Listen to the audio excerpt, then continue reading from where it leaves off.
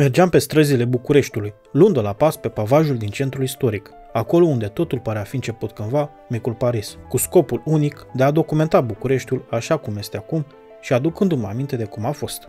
Ce vremuri, ce lume, ce prestigiu avea urbea Baciului Bucur în acele timpuri. Acum oamenii umblă pe aici colo, cu treburile lor, mergând la distracție în centru, neavând habar că pe acolo au trecut odinioară și alți oameni, precum Manuc, mă știți?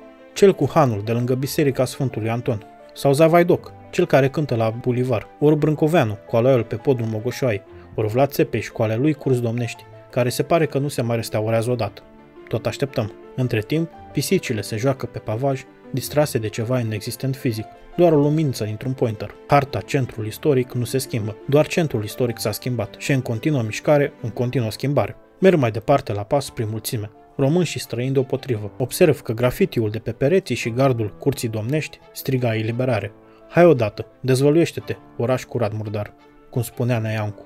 Dacă nu, ne vom dezvălui noi, căci noi suntem viitorul. Au apărut multe restaurante noi, care le-au înlocuit pe cele vechi, sau poate pe anticariatele de demult, cu ale lor patefoane, îngânând în surdină muzica de odinioară. Foarte multă curățenie, dar multă vânzoleală. O atracție către ceva nou și colorat, sau poate ceva vintage, ca firmamentul de pe o clădire ce recent a fost restaurată. Și bravo lor, atât au putut. Continu să explorez, culorile parcă mi-au ochi. Un roșu puternic, o flăcurie și ajung pe la Dracula. Una dintre tavernele care ar trebui să-l sugereze pe Vlad Țepeș, însă despre o poveste fantasy scrisă de Bram Stoker bazată pe o legendă neînțeleasă din estul Europei. Nici o legătură cu dinastia lui Dracula, cu nume având altă semnificație decât una horror.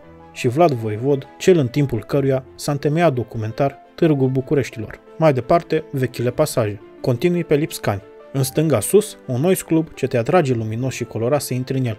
Poate te distrezi un pic, îți pierzi timpul. Iar în dreapta jos un suvenir din România. Cosmeticele Gerovital, cele care împiedică îmbătrânirea. Vedeți? Noi avem grijă de toți, căci toți îmbătrânim și ne vine vremea.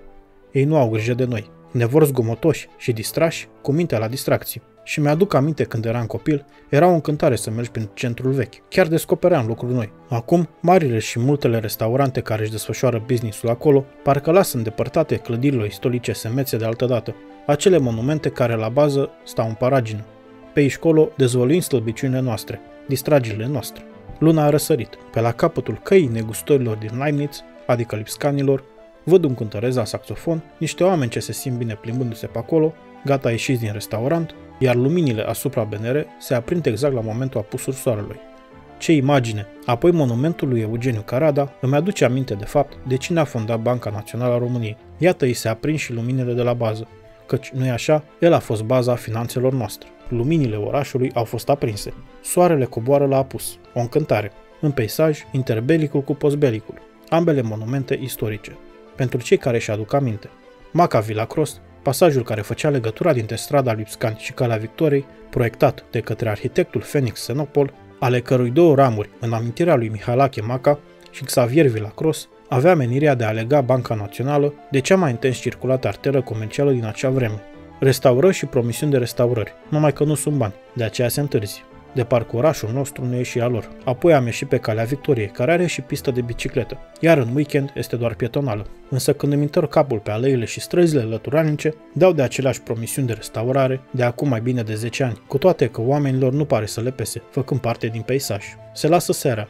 Din ce în ce mai multă lume furfotește prin centrul istoric în plimbare sau în căutarea de mese la terase, restaurante, în socializare. Nobis îmi aduce aminte de Dona Nobis Pacem, investita misă Agnus Dei. Cu atâta forfătă și lumini și culori, unde e pacea, unde e liniștea. Bucureștiul și aglomerația sa Bucureștiul și mesele sale pline. Dar primăria are grijă de clădirile și monumentele noastre istorice. Să nu avem grijă că sunt pe mâini bune, însă realitatea stă în strigătul scris și pictat al străzii. Mă uit înapoi și părăsesc cuibul de frumusețe și de bucurie, de mândria Bucureștilor, centrul istoric, pentru a explora mai departe pe bulevardul central al Unirii. Ce schimbări, cu tradiții românești sau fără, e un melanj. Iată că noaptea s-a lăsat și totodată viu este orașul, urbea în care m-am născut. Piața Unirii găzduiește un altfel de spectacol de culori vii și lumini în centru. Ceva ce noi nu am putut face, ci francezii de la Aponova într-un proiect cu românii.